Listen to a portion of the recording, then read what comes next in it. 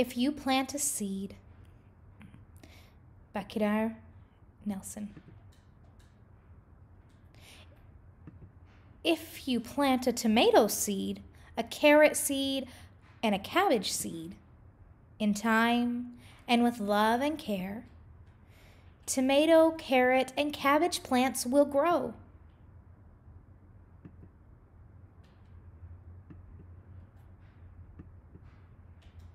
If you plant a seed of selfishness in a short time, it will grow and grow and grow into a heap of trouble. But if you plant a seed of kindness in almost no time at all, the fruits of kindness will grow and grow and grow.